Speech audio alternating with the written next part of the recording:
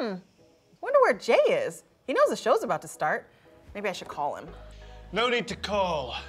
I have arrived. You have arrived? Well, yes. Punctuality is very important for productive people, and I will now use my very important and serious looking watch to show you that I am right on time as I sip my very serious coffee. I'm Pretty sure that's not even a. Never mind.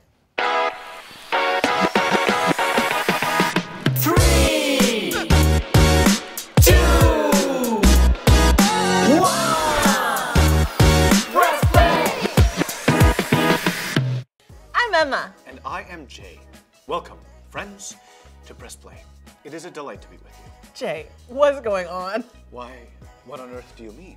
I'm just a useful and productive person, acting as such, drinking coffee, checking my watch, and reading my very serious business magazine. Jay, snap out of it. You don't have to do all these things to be a useful person. Oh, thank goodness. I mean, there's nothing even in this mug. This magazine is boring, and this watch doesn't even work. These sunglasses, well, they're kind of cool. What's going on? It's just that we visited your cousin Carlos, who works in a pit crew. He was so useful. And I thought, maybe I should be more like that. I mean, how's God ever gonna use this goofy dude? Are you kidding me? God's already using you. Don't you all love Jay? See, they didn't even respond. Oh, come on, everyone. Don't you love Jay? Gotta fix this. You thinking what I'm thinking? I guess. Three, two, one, press play! Whoa! Oh no! Back at the racetrack, we're gonna see Carlos again, and I'm gonna feel even less useful. I don't think we're here to see Carlos. What? Um, Why? Well, don't panic yet, but there is a tow truck coming right for us. Oh, okay, don't oh, panic!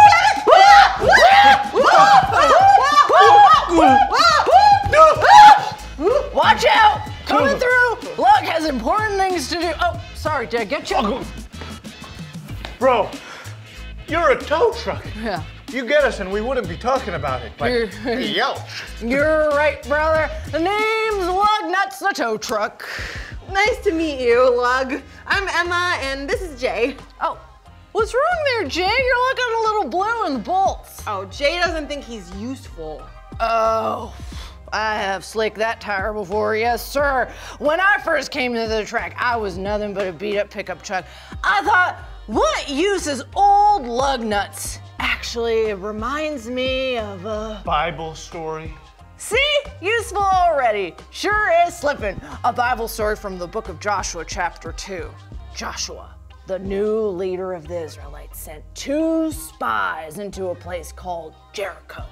Evidently, they weren't very good spies because the king of Jericho found out about them right away.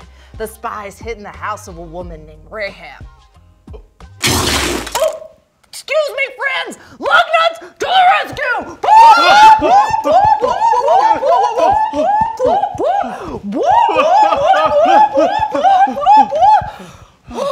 Whoa. You're really good. Like I said, came to the racetrack a beat up pickup truck without an idea of what to do.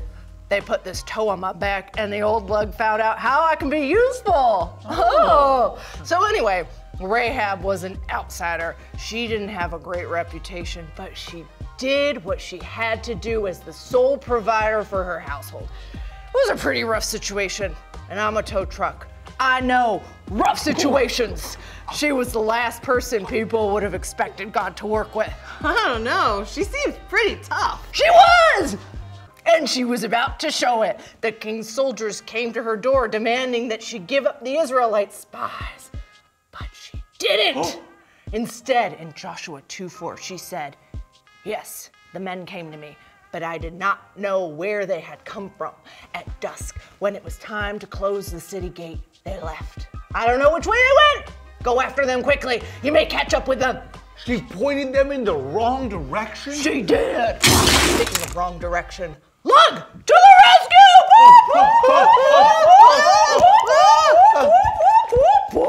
Oh! All right, where was I? Oh yeah, This was a very dangerous thing to do. If the spies were found in her house, she would be in as much trouble as a busted bumper on a Buick. Oh, oh. But Rahab knew the spies were Israelites. She knew they worshiped the true God, and she knew that God was fighting for them. She knew that their being meant Jericho was doomed. Whoa, she was tough and smart. Mm. Yep!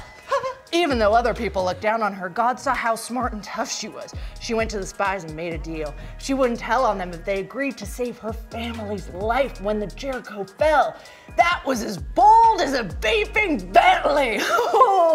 but the spies agreed. Verse 14 says, Our lives for your lives. The men assured her, If you don't tell what we are doing, we will treat you kindly and faithfully when the Lord gives us the land. It worked? You betcha! Rahab helped the spies escape unnoticed and put her trust in God. What do you make of that, Jay? Mm. The least likely person, and God used her to not only save the spies, but save her family as well? Kinda like I'm out here saving cars every day because I found out what Rahab did. God can use someone like me. Isn't that nice?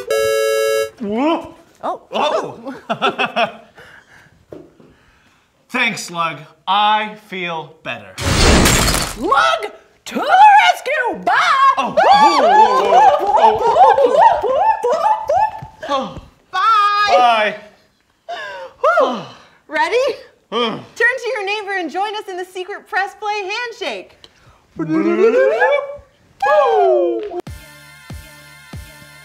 Um, Jay, what are you doing? I gotta shake the serious off so that God can use someone like me. Okay, whatever you need to do. Well, friends, we pressed play and ended up back at the racetrack. This time we met Lug Nuts, the tow truck. He told us his story and the story of a woman named Rahab. She was the least likely person for God to work with, but God did, and she saved the lives of the Israelite spies and her family. Rahab's story reminds us that God can use someone like me. Now it's time to drop the verse. Here we go. Are you ready to drop the verse? Tell him, Emma. Here we go, here we go, here we go, here we go right now. Let us hold unswervingly to the hope that we profess. For he who promised is faithful. Hebrews 10:23. Let us hold unswervingly to the hope that we profess. For he who promised is faithful. Hebrews 10:23. One more time, let us hold unswervingly to the hope that we profess. For he who promised is faithful. Hebrews 10:23. One more, let us hold unswervingly